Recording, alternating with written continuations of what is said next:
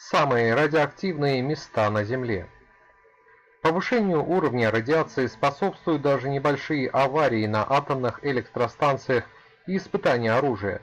В некоторых местах уровень радиации настолько велик, что там опасно находиться. Итак, первое место. Семипалатинский испытательный полигон в Казахстане.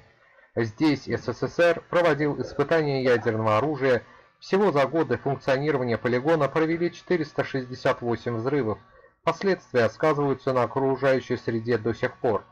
Статистика уверяет, что от испытаний в районе пострадали 200 тысяч человек. Денвер, Соединенные Штаты Америки. Ученые обнаружили, что в Денвере высок уровень естественной радиации. Некоторые связывают это с тем, что город расположен довольно высоко над уровнем моря. В таких регионах защитный атмосферный слой тоньше, поэтому и воздействие космического излучения сильнее. Дополнительный фактор месторождения урана, которых довольно много в этом регионе. Третье место производственное объединение «Маяк» в Озерске, России. На «Маяке» еще со времен СССР производятся компоненты для ядерного оружия, хранится и регенерируется отработанное ядерное топливо.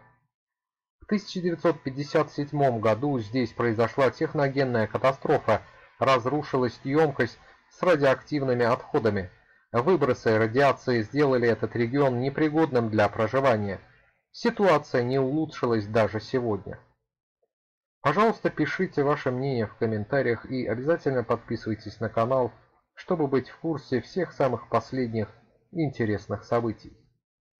Напомню, что в тройку самых опасных радиоактивных мест на Земле вошли два, э, две, скажем так, точки из России и один только из Соединенных Штатов Америки. Пишите ваше мнение и подписывайтесь на канал.